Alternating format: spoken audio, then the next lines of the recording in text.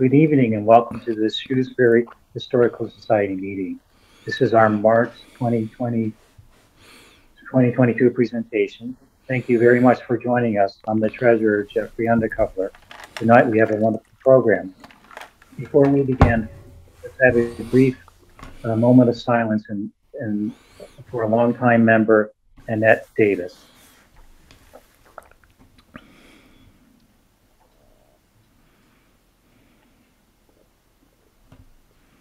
Thank you.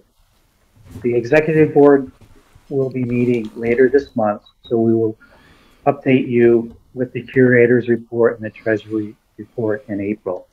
Tonight, the Shrewsbury Historical Society presents It's My Seat by John Horrigan, virtual program and tape broadcast on the Shrewsbury channels 28 and 328 and available on demand online at www.shrewsburymediaconnection.org. About the program tonight, award-winning historian John Horrigan presents It's My Seat, a 100-year chronology that begins with Elizabeth Jennings and concludes with Rosa Parks.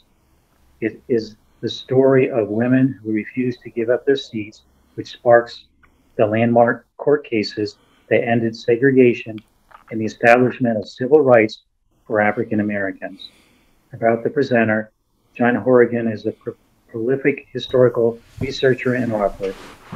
He lectures, his lecture portfolio includes over 100 different titles. He has presented lectures at historical societies and other prominent venues throughout New England over the past 20 years. Thank you so much, and uh, I'm going to turn the program over to John. Great to be back. Um, uh, to all of the ailing members of the Shrewsbury Historical Society, get well soon. My name's John Horrigan. This is It's My Seat. And uh, it, this is a, if you want to see my two hour special, where I go over virtually every single woman that had to give up her seat over a hundred year period. You can just Google it on YouTube. It's my seat. It's two hour special. But as Jeff mentioned, I've uh, been lucky enough to win five Boston New England Emmy Awards as host of The Folklorist.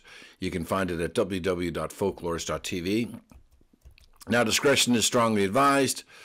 Uh, I'm going to be using two outdated terms that were predominant in historical records, and they may be offensive to you. It's not the nasty, violent, vile word, but I'll pause now so you have time to stop viewing this presentation and safely move away because I may use two words that were used in the vernacular of the 1950s. So I'm just going to pause, and you may want to watch something else. Good. We can go on. So these two terms are Negro and colored people. They're antiquated, they shouldn't be used, but they are used in historical records. Now, they show up in transcripts that um, I'm not going to be reviewing Browder versus Gayle, but if you get a chance, look at the transcript of Browder versus Gayle, and you'll see uh, the resilience of Aurelia Browder, Mary Louise Smith, and uh, Claudette Colvin. How classy and dignified they were despite the uh, questioning by a really racist uh, district attorney in middle Alabama.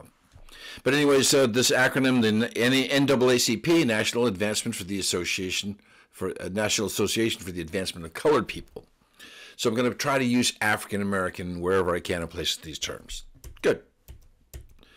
So if I use the term black, blacks, or black people, I do not mean to use them in a derogatory sense. Nor do I mean to offend people when I use the term colored people or people of color that are prevalent in historical documents and reports from the period. In the words of my words, not the words of Shrewsbury Historical Society or Shrewsbury Media. If, if you have an issue with anything I say, you can reach out to me directly. So, this is a chronology of the struggle for civil rights endured by selective African American women. We're going to talk about two Elizabeth Jennings and Rosa Parks. And it's a focus on the events that led up to the Montgomery bus boycott of 1955. These women took a stand for equal rights by remaining seated. Now, there were and still are millions of acts of discrimination that have been and still are committed against African American males as well as African American females. The enforced segregation events that took place in Montgomery, Alabama during 1955 are just a microcosm of the hostilities that African Americans have had to endure for over 400 years. My sources are various, numerous, but I did go to biography.com, history.com, blackpast.org, nationalhumanitiescenter.org, Wikipedia, civilandhumanrights.org, the New York Times, Smithsonian, Washington Post, and various other periodicals of the period. now, if you look at all the women um, that had to give up their seat, and these are the people that actually, there are historical accounts, there are probably 10 times more women, 100 times more women than these that were offended uh, by Jim Crow laws and racial segregation. But aside from Elizabeth Jennings, there was Ellen Anderson, Ida B. Wells, Irene Morgan, Sarah Keyes, Mary Fair Burks, Joanne Robinson, we'll talk about her tonight, Georgia Gilmore, who was a fantastic cook. Martin Luther King used to go down to Montgomery and make a beeline to her house. There would be a line out in front. She was such a great chef, such a good cook. Aurelia Browder, we'll touch on her momentarily. Claudette Colvin, as I mentioned, Mary Louise Smith, Rosa Parks. And then uh, we'll talk briefly about the Emancipation Proclamation, the 13th, 14th, and 15th Amendments, the New York draft riots. We'll look at that of 1863, the fables of Reconstruction, the Compromise of 1877, then some other courses, uh, landmark court cases uh, that actually broke down the walls of segregation. They were Plessy versus Ferguson, 1896, Brown versus the Board of Education, 1954, and of course, Browder versus Gayle, 1956.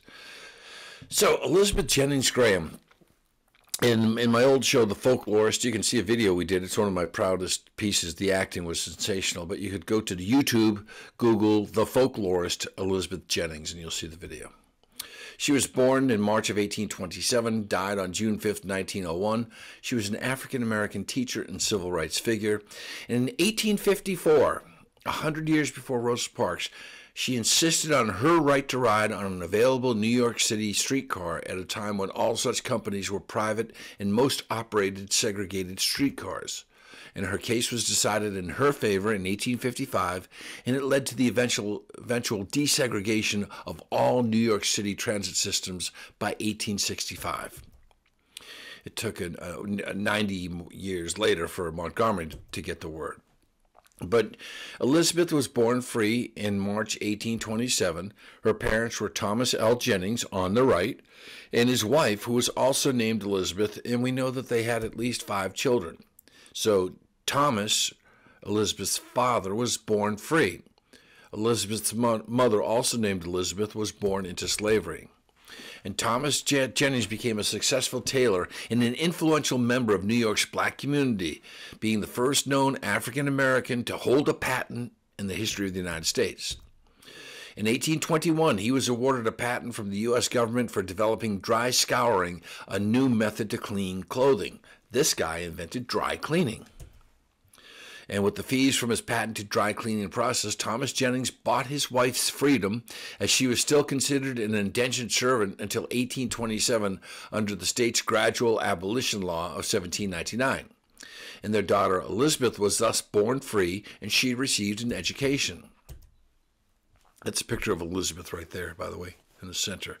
And to give you an idea of New York City streets at this time in the mid 19th century, you can see it on the right there. So Elizabeth, the daughter, later would start the city's first kindergarten for African American children when she operated it from her home on 247 West 41st Street up until her death at age 74 in the year 1901.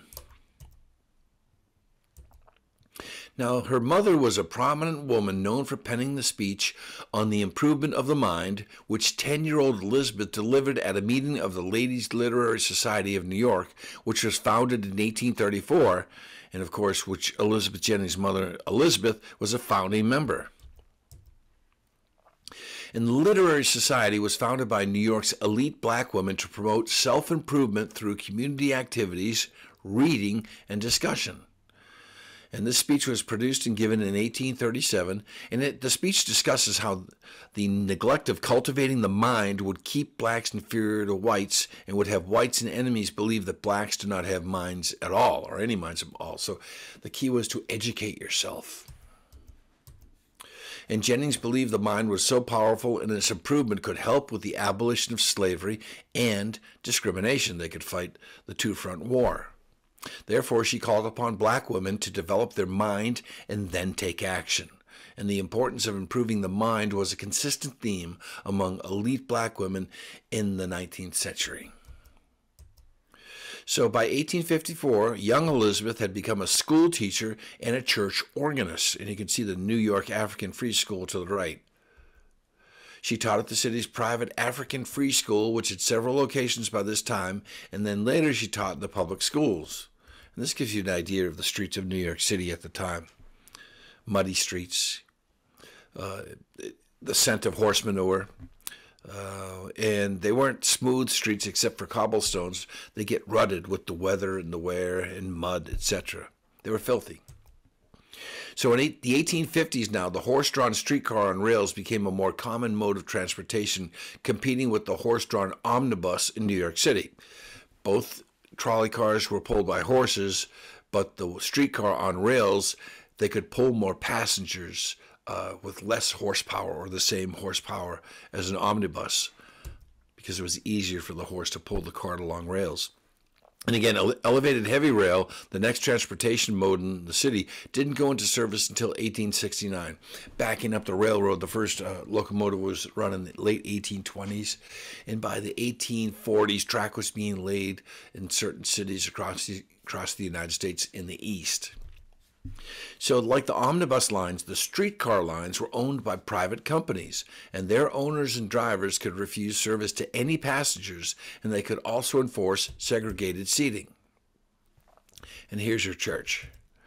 So on Sunday, July 16, 1854, Elizabeth Jennings went to the first colored congregational church where she was an organist and as she was running late, she boarded a streetcar of the Third Avenue Railroad Company at the corner of Pearl Street and Chatham Street. That's what it looks like today. Historical place.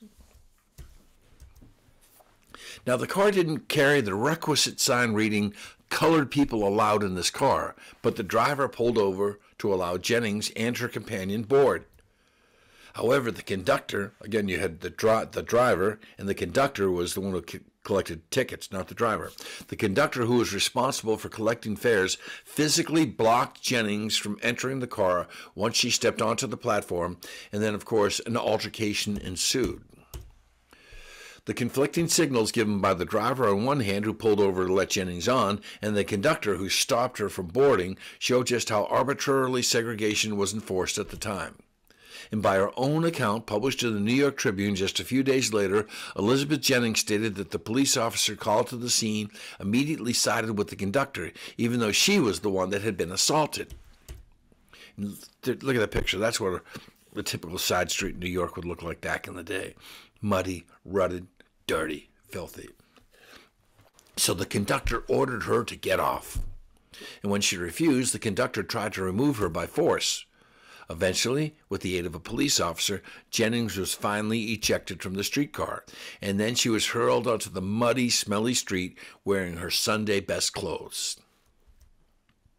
And again, that's a scene of New York City. The roads weren't as smooth, though. So Horace Greeley's New York Tribune commented on the incident in, February 1855. Horace Greeley, he was the one who penned in the early 1840s "Go West, Young Man," uh, when they were trying to uh, expand the borders of the United States and get settlers to move into the western part of the country. Quote, this is what Horace Greeley said. She got up upon one of the company's cars last summer on the Sabbath to ride to church. The conductor undertook to get her off, first alleging the car was full. When that was shown to be false, he pretended the other passengers were displeased at her presence. But when she insisted on her rights, he took hold of her by force to expel her. She resisted. The conductor got her down on the platform, jammed her bonnet, soiled her dress, and injured her person. Quite a crowd gathered, but she effectually resisted. Finally, after the car had gone on further, with the aid of a policeman, they succeeded in removing her. I held my gloved hand up to the driver, and he stopped the car, as Elizabeth said. We got on the platform when the conductor told us to wait for the next car. I told him I could not wait, as I was in a hurry to go to church.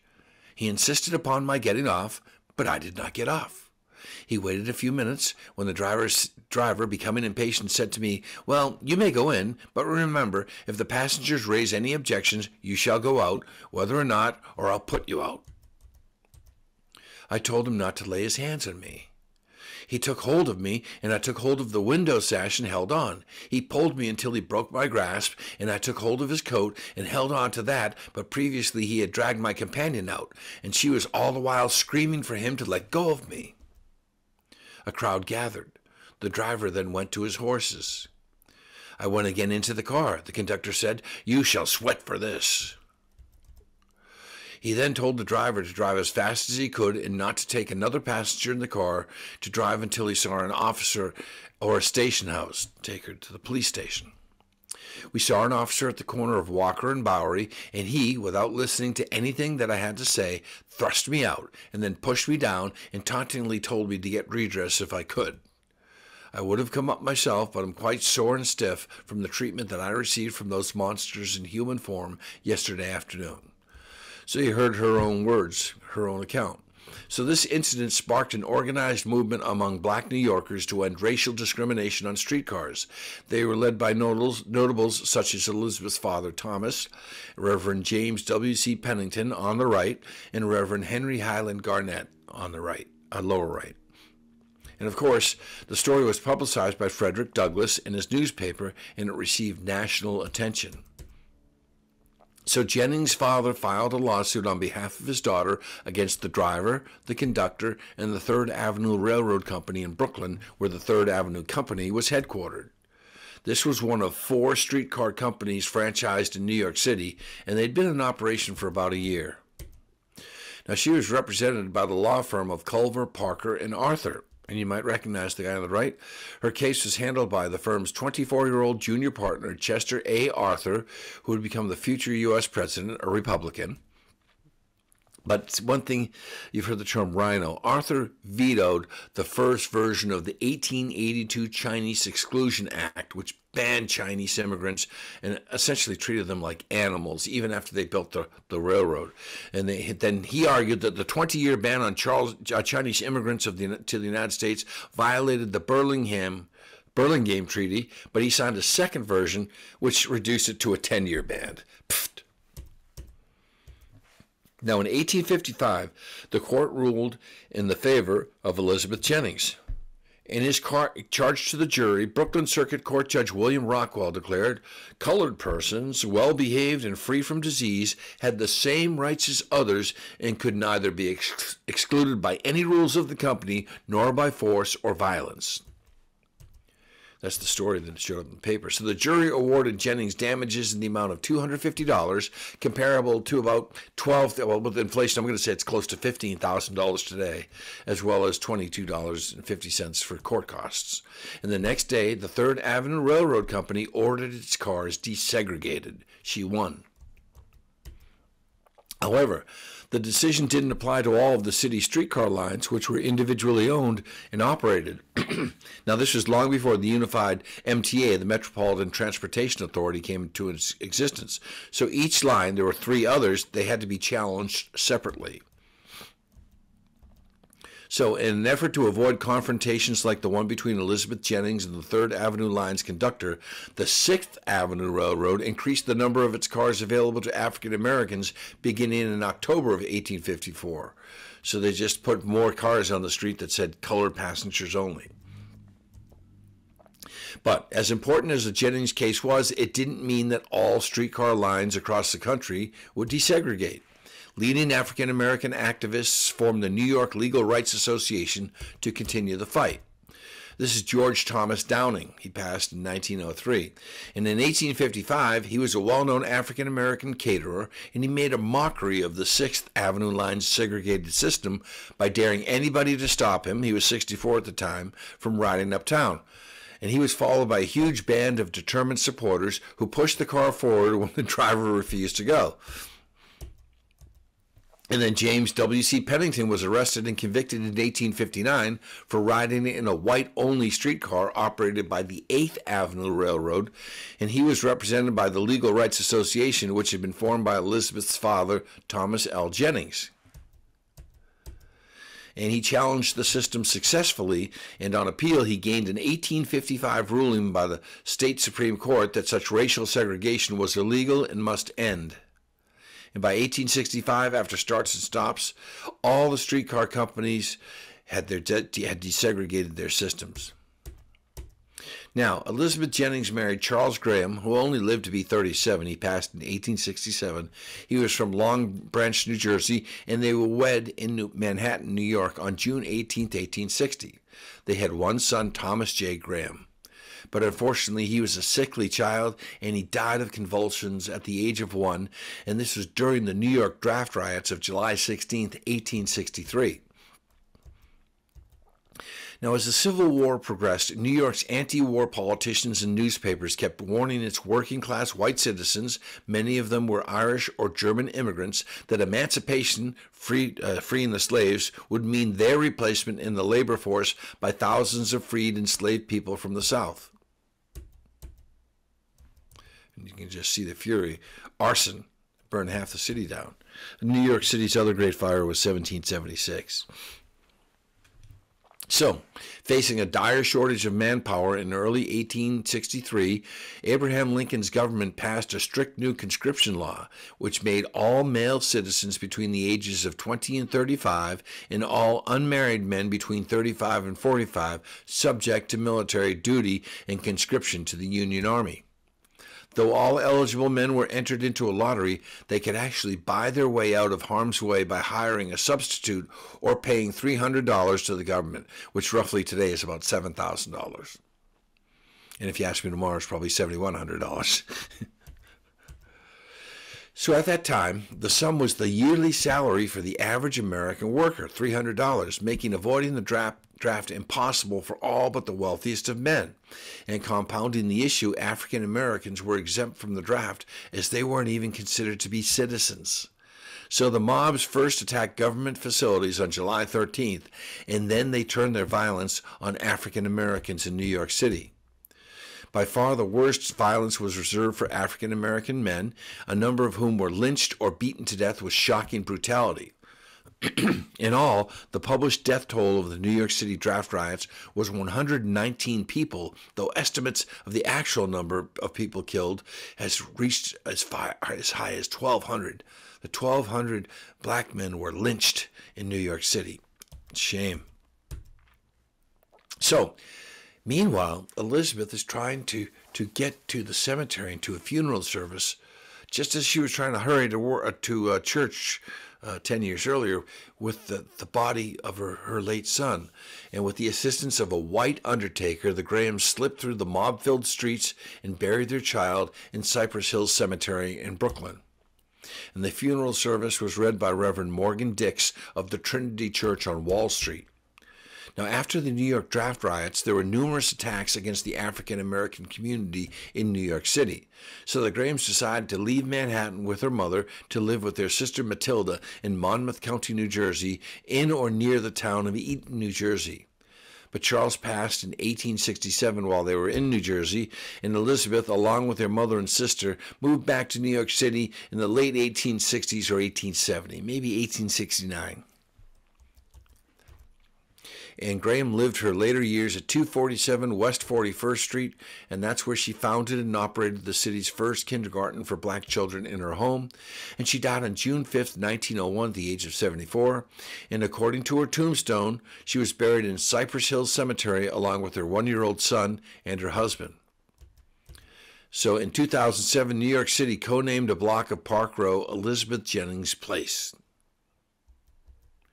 A great book uh, came out January 2nd, 2018. The first biography of Elizabeth Jennings, written by Amy Hill Hearth, Streetcar to Justice. And it was intended for middle grade to adult readers, and the book was published by HarperCollins Greenwillow in New York. And that's what New York City looked like. That's Elizabeth Jennings. Now, Rosa Parks. Quote, at the time I was arrested, I had no idea it would turn into this. It was just a day like any other day. The only thing that made it significant was the masses of the people joined in. And again, multiple sources. Famous picture. This is drawing, actually. Who was Rosa Parks? She was a civil rights activist who refused to surrender her seat to a white passenger on a segregated bus in Montgomery, Alabama. And her defiance sparked the Montgomery bus boycott. Its success launched nationwide efforts to end racial segregation of all public facilities. Her bravery led to nationwide efforts to end racial segregation, and she was awarded the Martin Luther King Jr. Award by the NAACP, the National Association for the Advancement of Colored People. She also won the Presidential Medal of Freedom and the Congressional Gold Medal, the highest honors that an American could earn from its government. I like this picture here. It's, this is just after their first meeting. It's a hot day, and it's just out in the church parking lot. There's Rosa, of course, Martin Luther King Jr., just new to town, and they said that they had uh, the lemonade was kind of warm because of the hot day, but uh, this is where the, the, the movement was formed in um, early December 1955. So Rosa was born Rosa Louise McCauley on February 4th, 1913, in Tuskegee, Alabama. You probably heard of the Tuskegee Institute. That's where the uh, the uh, the Red Tails would fly out of the Tuskegee Airmen, and all black wing uh, that flew during World War II. They originally, it was incredible, their story. People don't know about the Red Tails. They flew and trained in four different aircrafts in three quarters of a year. They began training in a P 39, then they switched over to a P 40, um, then they went to a, a, a P uh, 38 Lightning, and then to a P 51 Mustang. Those are four difficult airplanes to fly, but they always you always see these depictions of the red tailed and Mustangs, but people forget once they became competent on one airplane, they would move to another one and to another, and finally to the P 51. I'm digressing here. But her parents were James and Leona McCauley, and unfortunately they separated when Rosa was two. So her mother moved to the family to a place called Pine Level, Alabama, to live with her parents, Rose and Sylvester Edwards. Now they were uh, descendants of slaves. Their grandparents, both of Rose's grandparents, were slaves, and they were strong advocates for racial equality. And the family lived on the Edwards farm where Parks would spend her youth. Now, her childhood brought her early experiences with racial discrimination and activism for racial equality. In one experience, her grandfather stood in front of their house with a shotgun while Ku Klux Klan members marched down the street. And Rosa recalled going to elementary in Pine uh, elementary school in Pine Level, where the school buses took the white students students to school, and the black students had to walk to theirs. Quote, I'd see the bus pass by every day, but to me that was a way of life. We had no choice but to accept what was the custom. The bus was among the first ways I realized there was a black world and a white world. So throughout Rosa's education, she attended segregated schools, and she was taught to read by her mother at a young age. And Parks attended a segregated one-room school in Pine Level, Alabama, that often lacked adequate school supplies such as desks, paper, pencil, chalk, chairs. And beginning at the age of 11, Rosa attended the city's industrial school for girls in Montgomery, Alabama, which would be burned down twice by white arsonists but she became an excellent seamstress. And in 1929, while she was in the 11th grade and attending a laboratory school for secondary education led by the Alabama State Teachers College for Negroes, we'll uh, talk about that in a second with Joanne Robinson, Rosa left school to attend to both her sick grandmother and her mother back in Pine Level. She had to drop out of school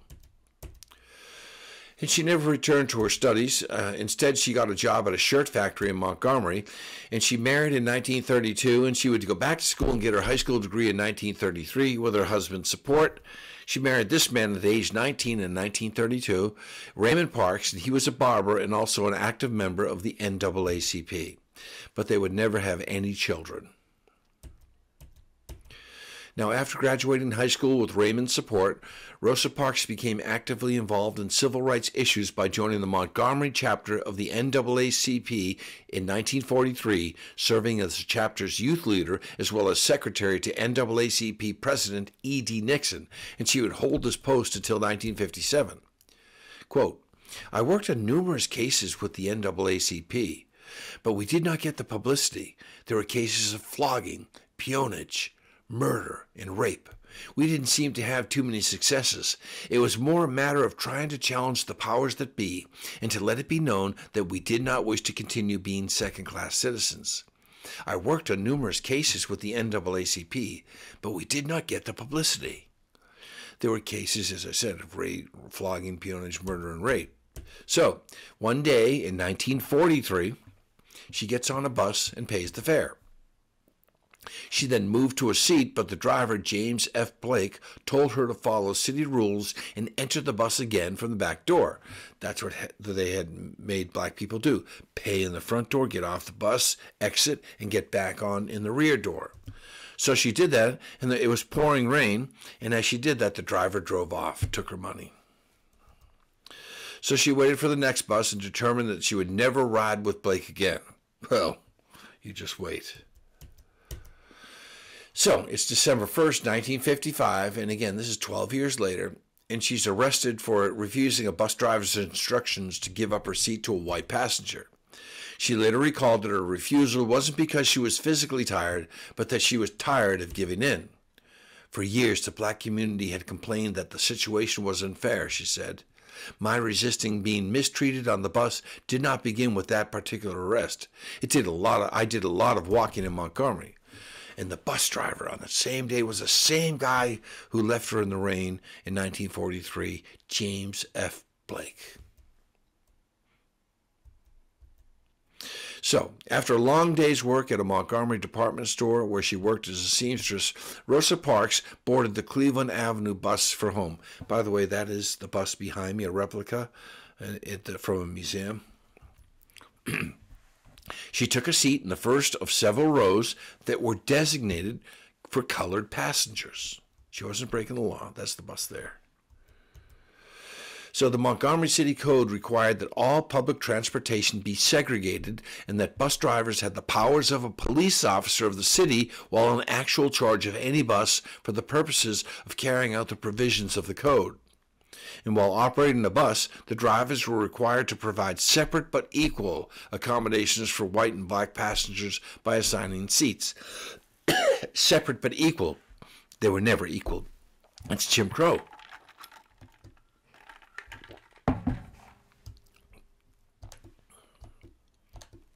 So, they did this they had a line roughly in the middle of the bus that separated white passengers in the front and African American passengers in the back. A few buses had a line right down the middle. On the left, um, African American passengers, on the right, white passengers. So, when an African American passenger boarded the bus, again, they had to get on at the front of the bus to pay their fare and then get off and reboard the bus at the back door.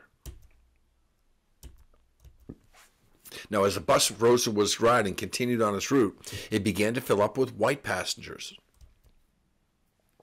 Eventually, the bus was full, and the driver noticed that several white passengers were standing in the aisle.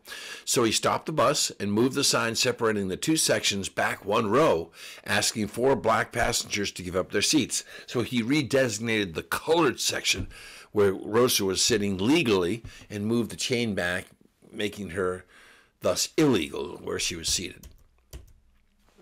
Totally unethical. The city's bus ordinance didn't specifically give drivers the authority to demand a passenger to give up a seat to anyone, regardless of color. However, Montgomery bus drivers had adopted the custom of moving back the sign separating black and white passengers, and if necessary, asking black passengers to give up their seats to white passengers. By the way, just a quick story. Um, uh, captured Nazi prisoners of war on trains, uh, African American soldiers in the army would have to give up their seats to Nazi prisoners of wars on trains in Europe. Wild. So the first four rows of seats on each Montgomery bus were reserved for, for white people only. This, by the way, that photograph is the actual bus, Cleveland Avenue bus. So if the black passenger protested, the bus driver had the authority to refuse service and he could call the police to have them physically removed. This is Rosa. When that white bus driver stepped back toward us and when he waved his hand and ordered us up and out of our seats, I felt a determination cover my body like a quilt on a winter night. By Park's account, Blake said, Y'all better make it loud on yourselves and let me have them seats. The driver wanted us to stand up, the four of us. We didn't move at the beginning, but he says, Let me have them seats. And the other three people moved, but I didn't. When he saw me still sitting, he asked if I was going to stand up, and I said, No, I'm not. And he said, Well, if you don't stand up, I'm going to have to call the police to have you arrested. I said, You may do that. I, I would have to know for once and for all what rights I had as a human being and as a citizen. And there's her booking picture on the right. Now Parks moved, but she uh, she moved inward towards the window seat. She didn't get up to move to the redesignated colored section. And she later said about being asked to move to the rear of the bus, I thought of Emmett Till, a 14 year old African American who was lynched in Mississippi a few months earlier after being accused of offending a white woman in her family's grocery store, whose killers were tried and acquitted, and I just couldn't go back. Two policemen came on the bus, and one asked me if the driver had told me to stand. He wanted to know why I didn't stand, and I told him I didn't think I should have to stand up. I asked him, Why did they push us around? He said, I don't know, but the law is the law, and you are under arrest. I only knew that as I was being arrested, that it was the very last time that I would ever ride in humiliation of this kind. I did not want to be mistreated. I did not want to be deprived of a seat that I had paid for. It was just time. There was opportunity for me to take a stand to express the way I felt about being treated in that manner. I had not planned to get arrested. I had plenty to do without having to end up in jail. But when I had to for- face that decision, I didn't hesitate to do so because I felt that we had endured that too long. The more we gave in, the more we complied with that kind of treatment, the more oppressive it became.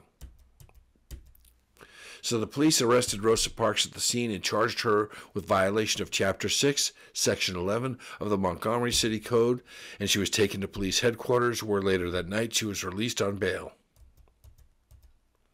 Her arrest sparked the Montgomery bus boycott and would lead to other boycotts, sit ins, and demonstrations, many of them led by Martin Luther King Jr., in a movement that would eventually lead to the toppling of Jim Crow laws across the South. That's a sign there. They have bus actually there. Montgomery. So members of the African American community were asked to stay off city buses on Monday, December 5th, 1955, the day of Rosa Parks' trial, in protest of her arrest. People were encouraged to stay home from work or school, take a cab, or walk to work and with most of the African American community not riding the bus, organizers believed a longer boycott might be successful. The Montgomery bus boycott, as it came to be known, was a huge success. It lasted for 381 days and ended with a Supreme Court ruling declaring segregation on public transit systems to be unconstitutional. E.D. Nixon began forming plans to organize a boycott of Montgomery City buses on December 1st, the very evening that Rosa Parks was arrested. There's a photo of E.D. and Rosa. So Joanne Robinson, who was a teacher at Alabama State College for Negroes, stayed up all night and she copied over 35,000 handbills by a mimeograph machine. Now, some of the, I'm, I'm old enough to remember mimeograph machines. I remember that smell. They come off quite, and the, the, it was only blueprint in the mimeograph machine, and it would bleed. So that's Joanne Robinson to the right. And they placed ads in local papers. These handbills were printed and then distributed in black neighborhoods. The Montgomery bus boycott was not a spontaneous event, however. Various organizations in Montgomery, including the NAACP, the MIA, the Montgomery Improvement Association, and the WPC had been waiting for the right moment to begin protest. So the boycott was primarily primarily led by Joanne Gibson Robinson, and it actually began on December 3rd, two days after Rosa Parks' arrest. So Joanne Robinson was also targeted with several acts of intimidation. In fact, one local police officer threw a stone through her window, and another police officer poured acid on her car. On the day of Rosa Parks' trial, December 5, 1955, the WPC distributed the 35,000 leaflets, and this is what the handbill actually said, quote, Another woman has been arrested and thrown in jail because she refused to get up out of her seat on the bus for a white person to sit down.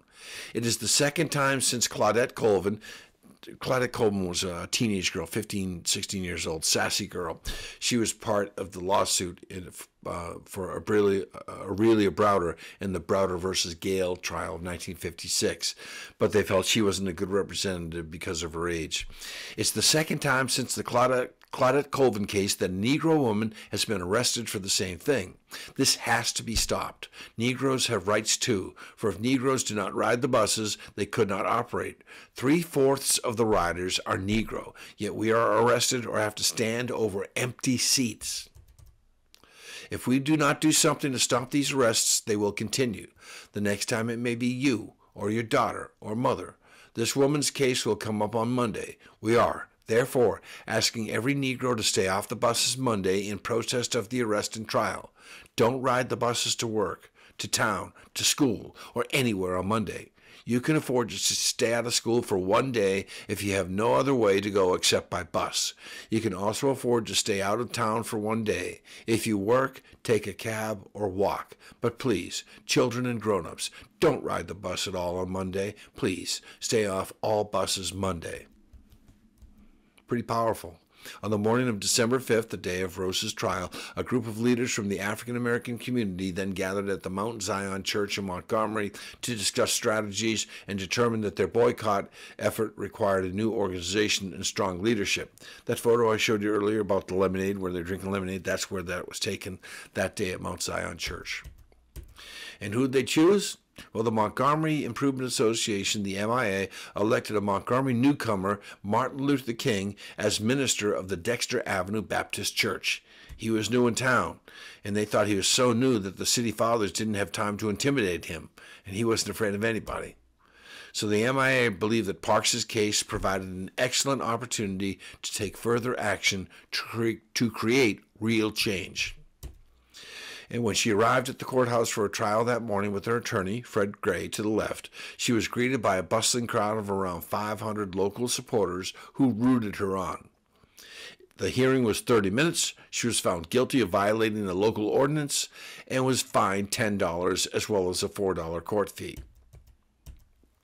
But inarguably, the biggest event of the day, however, is what Parks's trial had triggered. The city's buses were, by and large, empty. Some people carpooled, others rode in African American operated cabs, but most of the estimated 52,000 African American commuters living in the city of Montgomery at the time had opted to work to walk to work that day. Some had to walk as far as 20 miles. Uh, you know, the most I've ever walked in one day is 15, and you know, very very tiring. So, due to the size and scope of and the loyalty to the boycott, the effort continued for several months. And the city of Montgomery had become a victorious eyesore with dozens of public buses sitting idle, ultimately severely crippling finances for its transit company. With the boycott's progress, however, came strong resistance from the whites. Some segregational some segregationists retaliated with violence. Black churches were burned, and both Martin Luther King and E.D. Nixon's homes were destroyed by bombs. Still, further attempts were made to end the boycott. The insurance was canceled for the city taxi system that was used by African Americans. Black citizens were arrested for violating an antiquated law that prohibited boycotts. They weren't doing anything. By not getting on the bus, they were getting arrested. And shortly after beginning the Montgomery bus boycott in December of 1955, black community leaders began to discuss filing a federal lawsuit to challenge the city of Montgomery and Alabama bus segregation laws. They sought a declar- declaratory judgment that Alabama state statutes and ordinances of the city of Montgomery providing for and enforcing racial, seg- racial segregation on privately operated buses were in violation of the 14th Amendment protections for equal treatment. So they were going to test the Constitution, the 13th, 14th, and 15th Amendments to the United States Con- Constitution. So many African Americans took place and took legal action. Armed with the Brown versus the Board of Education decision, which stated that separate but equal policies had no place in public education, a black legal team took the issue of segregation on public transit systems to the United States District Court for the Middle, Middle District of Alabama Northern, or the Montgomery Division, and Parks' attorney Fred Gray filed the lawsuit. So on February 1st, 1956, Fred Gray, the attorney for the Montgomery Improvement Association, he's in the upper right hand corner, filed the lawsuit in the U.S. District Court on behalf of five black women who had been the victims of discrimination on local buses. And he was joined by Thurgood Marshall, uh, lower left, and Robert L. Carter of the NAACP Legal Defense Fund, lower right. Now, the Browder versus Gayle trial, 142F uh, sub, sub 707 1956, it took place May 11, 1956. It was filed originally listing five plaintiffs. Plaintiffs: Aurelia Browder on the right there, Claudette Colvin to, to her right, and then with the white graduation hat is Susan McDonald, and then that's Janetta Reese on the far right. And Mary Louise Smith was also involved. Now, Aurelia Browder was picked as the lead plaintiff because of her age. Two of the other plaintiffs were teenagers, and those two teenagers right there were Susie McDonald and Claudette Colvin. And two others were senior citizens, but Aurelia was 37 at the time, so that put her in the middle of the other plaintiffs, plaintiffs and she was a good representative of all of them. Now, Janetta Reese, her name is always referred to in history as Jeanette. It's not, it's Janetta. She withdrew from the case soon after it was filed. She seems to have been intimidated by white people. She said that uh, that uh, she was intimidated by white people and that caused her to withdraw in February. She falsely claimed that she had not agreed to the lawsuit, which led to an unsuccessful attempt to disbar Fred Gray, the attorney representing the case, for supposedly improperly representing her. That was a lie. So William A. Gayle on the right there, he was the mayor of Montgomery, was the namesake defendant. Aurelia Browder, Browder versus Gayle, along with Montgomery's chief of police, Montgomery's board of commissioners representatives, Montgomery city lines, two bus drivers, and Alabama Public Service Commission representatives. I'm not going to read the court transcripts and testimonies, but I strongly urge you to look up um, Browder versus Gayle, 1956, and just read over. It's an easy read. The transcripts, it's about uh, 15 pages, but just go straight to their testimony. And you can see how the prosecutor was ask, asking leading questions, and the women held their ground, very polite, very deliberate, and uh, you can you can see the DA getting frustrated. On June 5th, the judges released their decision. Segregated buses violated the equal protection and due process guarantees of the 14th Amendment and were therefore declared unconstitutional. The city of Montgomery could not enforce any law which may require plaintiffs or any other Negroes similarly situated to submit to segregation and the use of bus transportation facilities in the city of Montgomery. They won. They won their case.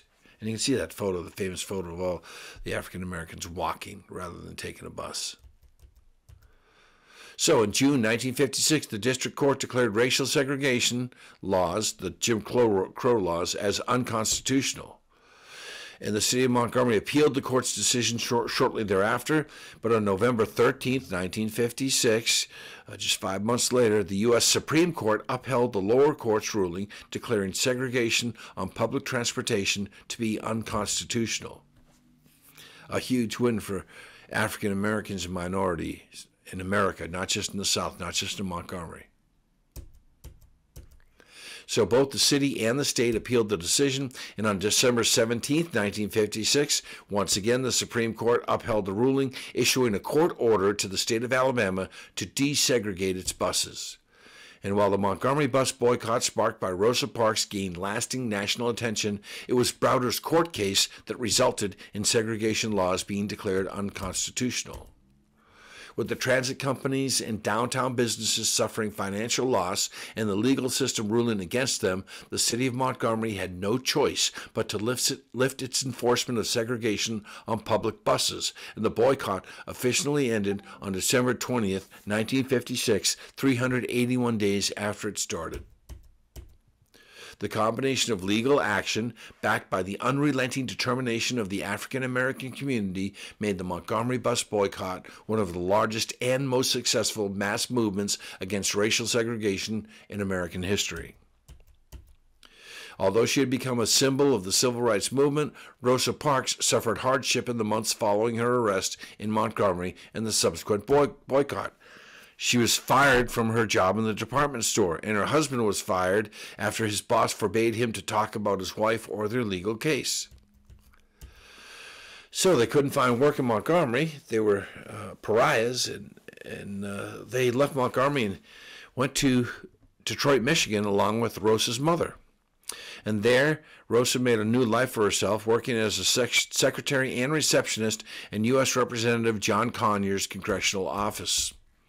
And in 1987, with her friend Elaine Eason Steele, they founded the Rosa and Raymond Parks Institute for Self Development, and they ran a Pathways to Freedom bus tour, which introduced young people to important civil rights and underground railroad sites throughout the country. In 1992, she published her autobiography called My Story, uh, recounting her life in the segregated South. And in 1995, she published Quiet Strength, which includes her memoirs and focuses on the role that religious faith played throughout her life. Now, the band OutKast released a song uh, about Rosa Parks, and Rosa was furious uh, because she did not give her permission for them to use her name. And there were all sorts of court uh, cases against this. She filed a lawsuit against OutKast uh, because they used her name without her permission. OutKast said that their song was protected by the First Amendment and it didn't violate Rosa's publicity rights. And on April 14, 2005, the case was settled in favor of OutKast. But when she moved to Detroit on August 30th, 1994, in central Detroit, she was 81 years old and she was assaulted by a man named Joseph Skipper who broke down her door. He claimed that he had chased away an intruder and he wanted a reward. And she, uh, and when Parks paid him, uh, he demanded more money. And she refused and he attacked her and hurt her badly.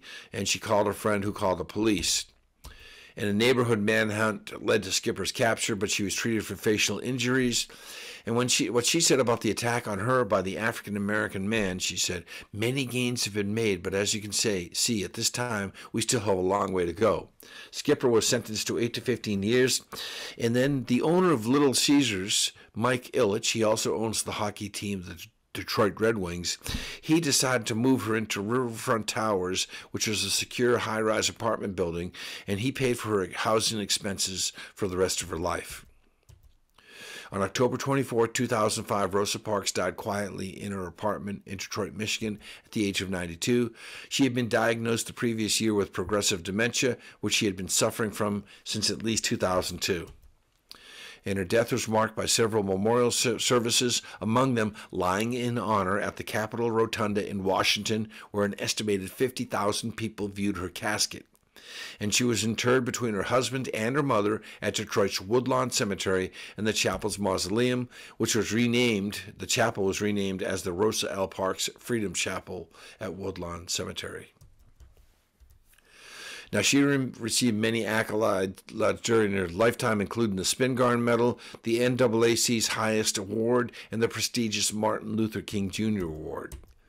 And on September 15, 1996, President Bill Clinton awarded Parks the Presidential the Presidential Medal of Freedom, which is the highest honor given by the United States executive branch. In the following year, she was awarded the Congressional Gold Medal, which is the highest award given by the United States legislative branch. And in 1999, Time magazine named her as one of the 20 most influential people of the 20th century, rightfully so. And in 2000, Troy University created the Rosa Parks Museum, pictured there on the right at the site of her arrest in downtown Montgomery, Alabama. And the city of Grand Rapids, Michigan in 2001 consecrated Rosa Parks Circle, which is a three and a half acre park designed by Maya Lin. She was the artist and architect best known for designing the Vietnam War Memorial in Washington, D.C. Angela Bassett portrayed Rosa Parks in the movie The Rosa Parks Story, released in 2002. And the movie won the 2003 NAACP Image Award, the Christopher Award, and the Black Reel Award. She uh, had a stamp named after her, and February 4th, 2013 would have been her 100th birthday, and that's why the post office put out a commemorative stamp. In February 2013, Barack Obama, President of the United States, unveiled a statue designed by Robert Firmin and sculpted by Eugene Daub, honoring Parks in the nation's Capitol building. He remembered Parks, according to the New York Times, by saying, quote, In a single moment, with the simplest of gestures, she helped change America and change the world. And today, she takes her rightful place among those who shaped this nation's course. That's my talk for today. It's my seat. I'm John Horrigan.